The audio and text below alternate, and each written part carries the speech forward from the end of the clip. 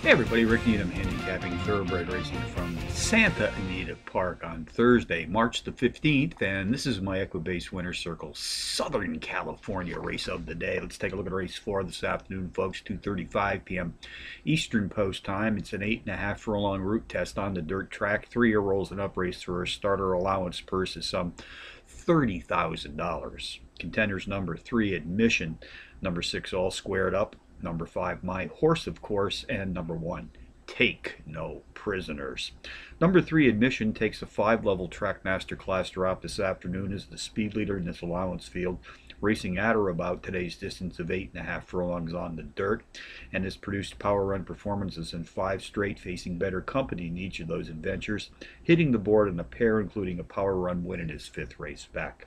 Jockey David Flores and trainer Mike Pugh send him to the post. They've hit the board with 55% of nearly 100 entries saddled as a team to date.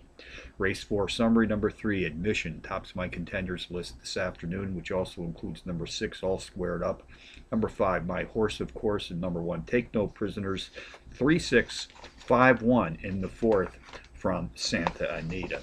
Bonus long shots, my hometown track, Penn National, race 4 four to one shot. Number one A, Angel, the overall speed leader in this claiming field, racing at the at mile and 70 yards on the dirt.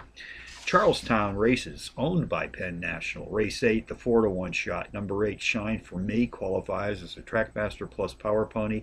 Takes a 14 level class drop and is the speed leader in this allowance field, sprinting at or about tonight's distance of 4 and 1 half furlongs on the dirt. So from Santa Anita on a Thursday afternoon, Rick Needham for the Equibase Winter Circle, reminding you as always to please bet with your head, not over it.